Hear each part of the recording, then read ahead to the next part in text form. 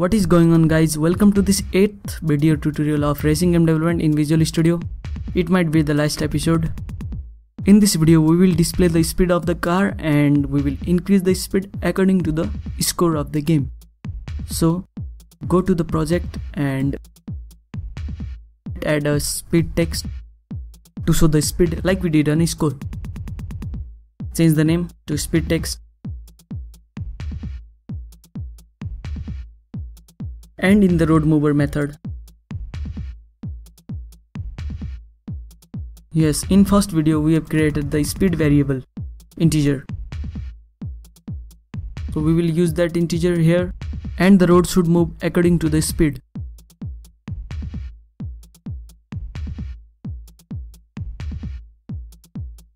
And it should display the speed.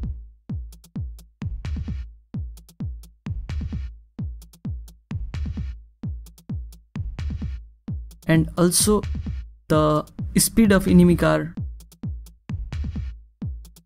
We will set different speed for different car. Uh, first speed by 2 in second car we will we will set different speed for different car. You can set any speed according to your choice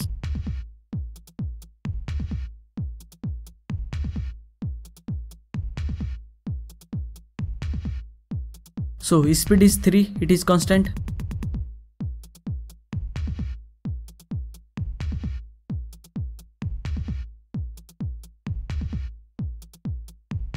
We will increase speed with the score. So when score goes more than 10 and less than 20 speed should be 5 you can do anything with the speed. I will do this. 20 to 36 30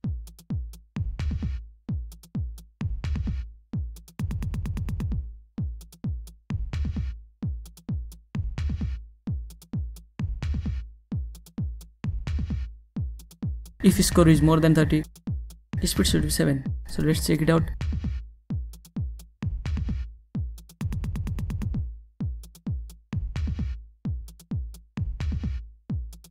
When the score goes 10 11 the score speed is increased. It goes 20 speed is increased. Yes.